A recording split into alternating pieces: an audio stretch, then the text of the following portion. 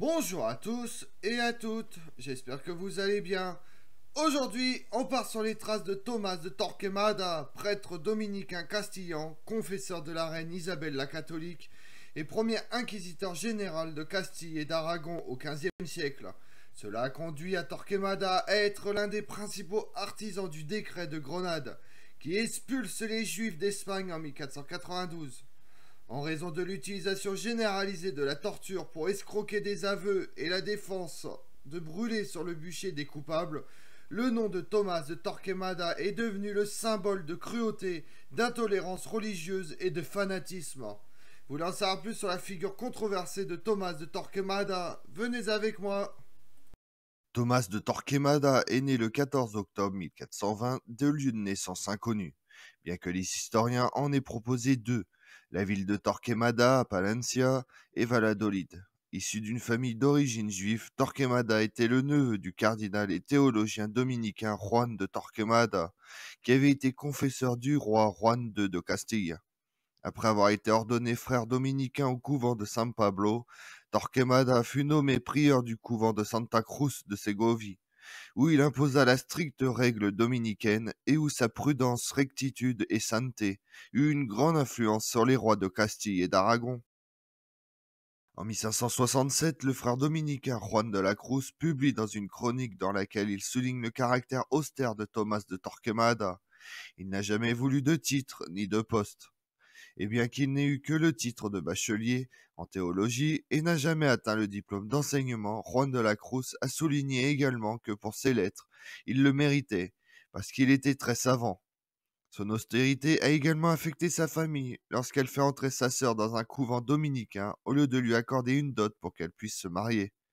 Cependant, et malgré le fait qu'il ait refusé l'archevêché de Séville, Thomas de Torquemada a vécu dans des palais luxueux où il a été soigné par de nombreux serviteurs.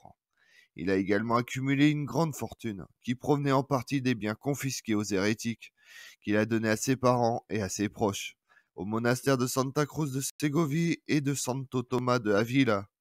L'ambition et la patience de Torquemada ont porté leurs fruits. Lorsqu'il a été proposé pour les postes importants de confesseur royal puis d'inquisiteur général d'Espagne, en tant que confesseur royal, il semble avoir eu un grand ascendant sur la reine. Pendant le séjour de la reine Isabelle la catholique à Séville entre 1477 et 1478, le dominicain sévillan Alonso de Herrera, prieur du couvent de San Pablo, la convainc de l'existence de pratiques juives. Un rapport envoyé à la demande des souverains par le cardinal Mendoza, archevêque de Séville, et par Thomas de Torquemada, est venu corroborer les soupçons.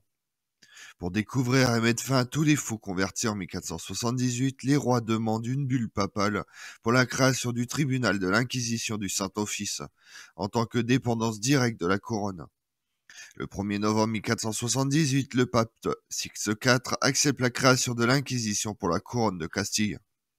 Pour ce poste, Isabelle de Castille nomme Thomas de Torquemada inquisiteur général. Sa nomination n'était pas fortuite et bien qu'elle ne soit pas imputable à Torquemada, toute la responsabilité dans la création de l'Inquisition, son élection pour un poste aussi influent lui incombe, parce qu'il est considéré comme capable de mettre en place un tribunal organisé sous les prémices marquées par la monarchie, dans lequel était appelé à jouer un rôle pertinent, car il était lui-même un fervent partisan des mesures de force contre les hérétiques. Peu de temps après, le 17 octobre 1483, Thomas de Torquemada est nommé par le pape Innocent VIII inquisiteur général de la principauté de Catalogne, de la ville et de l'évêché de Barcelone. En 1484, Thomas de Torquemada rédige les règlements communs qui devaient guider les actions des inquisiteurs.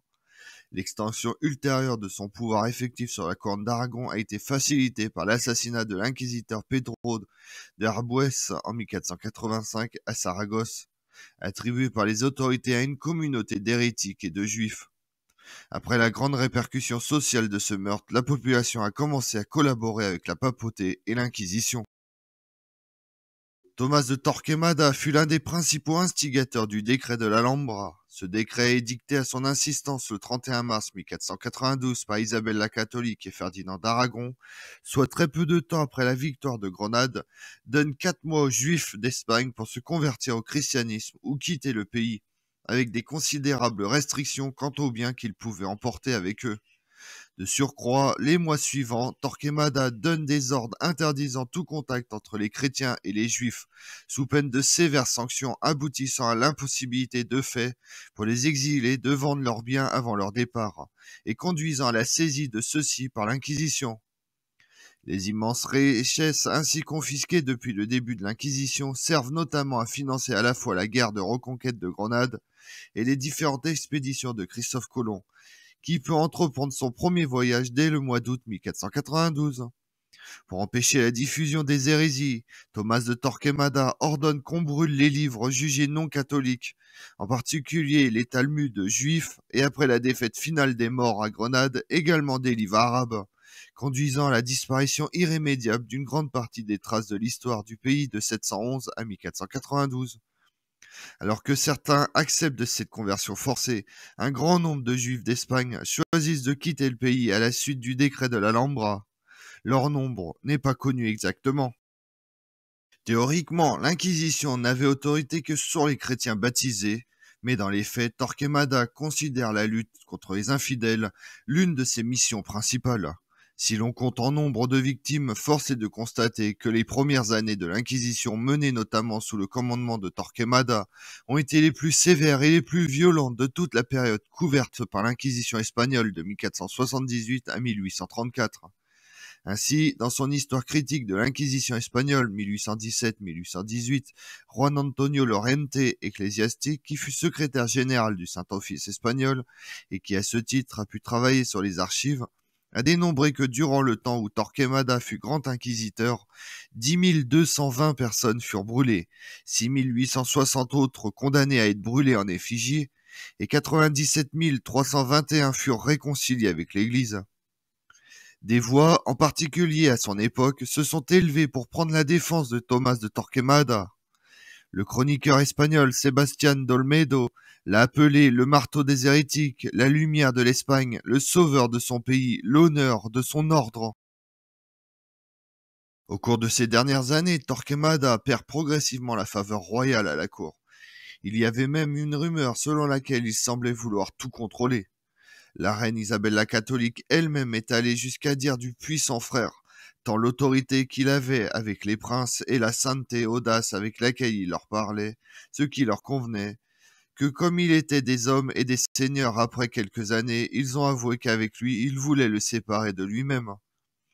Les plaintes contre Thomas de Torquemada atteignent finalement Rome et en 1494, le pape Alexandre VI Borgia nomme quatre autres inquisiteurs dotés de pouvoirs similaires à ceux de Thomas de Torquemada.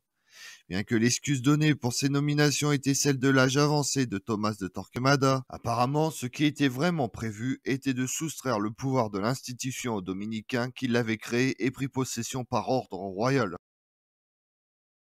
Deux ans plus tard, âgé et fatigué, Thomas de Torquemada se retire au couvent de San Thomas de Avila. De là, il a encore l'énergie d'invoquer les inquisiteurs et de rédiger de nouvelles instructions pour leur fonctionnement. Après sa mort en 1498, il fut enterré dans le chapitre conventuel. En 1572, ses restes ont été transférés dans une autre chapelle. Il est dit que lorsque le tombeau était ouvert pour le transfert des restes, ceux qui étaient présents ont dit qu'ils ressentaient une odeur particulièrement douce et agréable. Les gens ont commencé à prier sur sa tombe. Au cours des siècles suivants, l'endroit où se trouvait sa sépulture a été perdu. Aujourd'hui encore, l'endroit où reposent ses os est inconnu. Comme on l'a vu, l'ombre de Thomas de Torquemada est allongée, sombre et dépasse de loin la réalité historique de l'Espagne du XVe siècle. Le nom du tribunal de la Sainte Inquisition espagnole porte une légende noire dans laquelle le nom de Torquemada se distingue comme un symbole qui a transcendé les frontières espagnoles. Retiré au couvent de San Thomas de Avila qu'il a fondé, Thomas de Torquemada, dont la figure a fini par devenir un pragmatisme d'intolérance, de répression et de cruauté, y meurt le 16 septembre 1498. Mais comme on l'a vu, la légende est loin d'être la réalité, et le nom de Torquemada ne mérite pas la légende noire qu'il a inspirée.